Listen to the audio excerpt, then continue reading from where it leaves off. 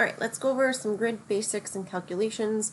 Um, you guys had a grid calculation homework that I wanted you to go through, but we'll do a couple examples here. Okay, so just a basic understanding of what a grid does. We'll get more into that into image production course, but essentially um, the grid wants to help us get rid of the scatter radiation.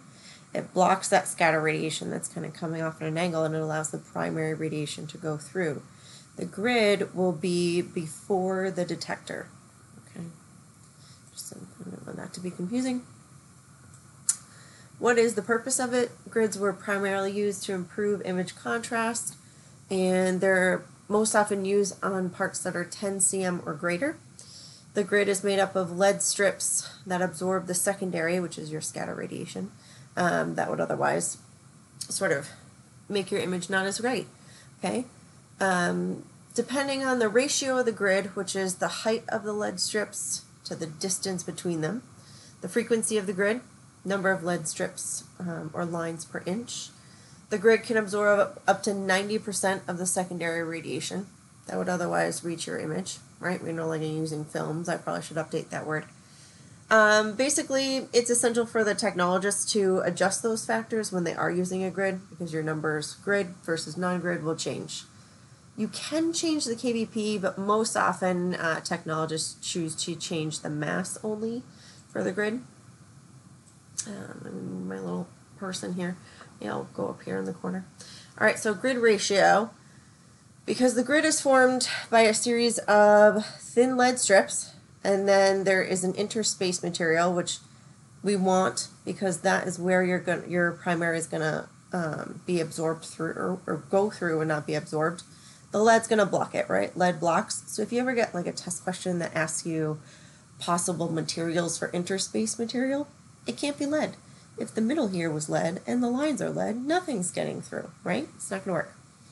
Um, but so there's a grid ratio formula, which is the height of the lead strips over the distance between them. So the height of these strips versus the distance between them, okay, will be your grid ratio formula. And the higher the grid ratio, the better it improves your image. The um, more efficient it cleans up that scatter, so it works harder. There's a series of grid ratios, and these will change as we're moving along, right? Or what your facility has for a grid ratio um, might be different. I've never actually seen a 16 to 1, um, but maybe it's out there. Most often, um, now we're seeing like six to ones on a lot of our digital portables. Um, we'll see eight to ones are very common. A lot of times the table grids are a 10 to 1 or a 12 to 1, um, but you wouldn't know that unless you pull the grid out of there just for fun. Who's going to do that? Maybe just me. Um, but you might see a lot of those different ones.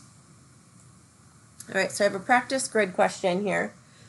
Um, if the height of the lead strips is 1.6 millimeters, and the distance between the lead strips is 0.1 millimeters. The ratio of the grid is what?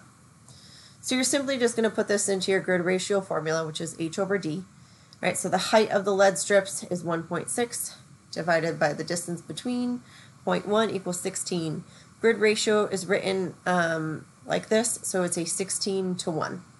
Okay, this is a super, grid ratio, super easy math, all right? Um, the trick is to find the key terms. So height of the lead strip, distance between them, ratio of the grid, right? So I just kind of broke this down for you again, um, how to separate that out, okay? Here's some more practice questions. Um, these are super easy. These aren't giving you any distractors or any, any extra info to kind of trick, trick you at all. So the height of the strip and the distance, um, the distance between them is the same on everyone. And so um, I'm not trying to make life hard on you, just some practice.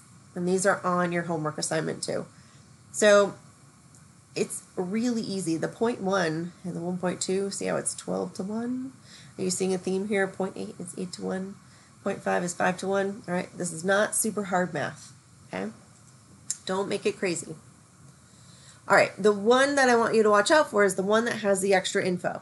So this question here is an example that is using a distractor to try and trip you up. So a grid has lead strips 5 millimeters high, 0.5 millimeters apart, and 1.6 millimeters wide. What is the grid ratio?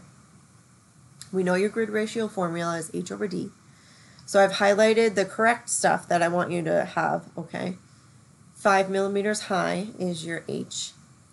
0.5 millimeters apart is your distance. So height over distance, right? 5 divided by 0.5 gives you a 5 to 1 grid. The distractor is this 1.6 millimeters wide. That's the trick one. Sometimes you'll see this as thickness. It's talking about the thickness of the lead strip or the width of the lead strip. That is not what I want you to use. You have to use the distance between the lead strips. So this apart, or it'll say distance between, that's what you have to use.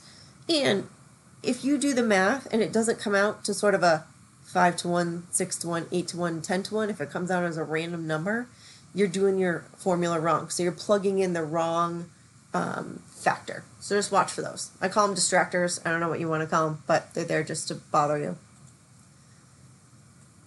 All right, so grid Bucky factor. These are fairly easy. For each grid ratio, they have a factor to use on multiplications. Most of them, the cheater is to just cut it in half. So 5 to 1 is 2, 6 to 1 is 3, 8 to 1 is 4, 10 to 1 is 5, until you get to the 12. And for some reason, 12 and 10 are the same at 5, and 16 to 1 is 6. So these, um, you just have to memorize. And I think um, Cheryl has a song. She calls it 234556, if that helps you remember it. All right. Um, practice question here calculating non-grid to grid. All right, for mass, non-grid was used. Repeat the exposure um, with a 10 to 1 grid. What's the new mass? How do you figure that out? This one's super easy. You simply multiply the original mass by the grid Bucky factor. All right, you've got to go back. So we are going to find our 10 to 1 grid that we used. And the grid factor or the Bucky factor of that is 5. So I'm going to take my original mass that I use with non-grid. I'm putting a grid on. I now have to increase my technique to get through that grid. So I'm going to multiply the 5 by 4, and that gives me 20. So my new mass for that exam using a grid is now going to be 20. And just remember, anytime it's asking you to add a grid, your number is going to go up. It's going to be higher than non-grid, always. Um, okay, non-grid to grid, another example here. The only difference um, with this one is if you notice in the beginning of this question, it's giving me 300 MA and 1 15th of a second. Used to expose a radiograph made without a grid. But now it wants me to figure out the new mass with a 6 to 1 grid. I want you to do a hard stop here because you have to figure out your MAS first. So if it's giving you MA and seconds separately, You've got to calculate those first before moving on. So MA times time, I know you guys know this one equals mass. So these together give me 20 mass. You're going to multiply that original mass now by the Bucky factor. So we are going to multiply the 20 mass by 3 because a 6 to 1 is a 3 for a factor and that gives me 60. So 60 is the new mass that I will use um, with a 6 to 1 grid instead of um, the 20 with non-grid. And 20 is really high for non-grid. Don't worry about these numbers not making a ton of sense, um, but it will. Okay, grid to non-grid is the reverse. So we're using a 12 to 1 grid, or 12 mass with an 8 to 1. And now we're going to repeat without a grid. What's the new mass? All you do is divide this time.